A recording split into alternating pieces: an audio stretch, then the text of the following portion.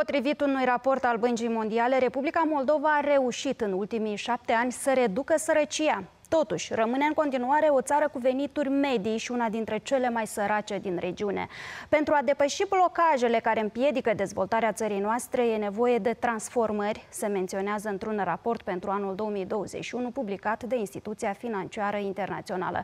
Mai multe detalii are colegul meu, Radu Osipov. Radu, bună seara, te ascultăm! Victoria, doamnelor, domnilor, bună seara! Raportul Băncii Mondiale nu analizează impactul războiului, totuși radiografierea făcută scoate în evidență că țara noastră e vulnerabilă. Pandemia, criza energetică și seceta din ultimii ani au demonstrat că e nevoie de un model economic sustenabil, competitiv și rezistent la șocuri. În linii mari, Republica Moldova a ajuns într-o capcană a remiterilor de bani de peste hotare, situație care se menține cel puțin din 2016.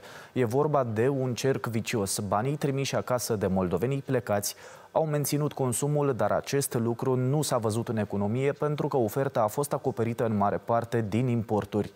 Diagnosticul pentru țara noastră e următorul.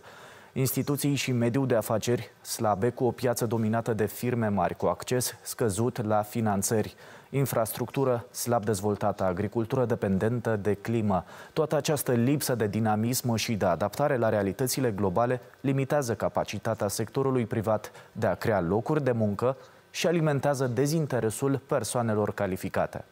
Pentru depășirea acestui blocaj, accentele trebuie puse pe statul de drept și pe afaceri.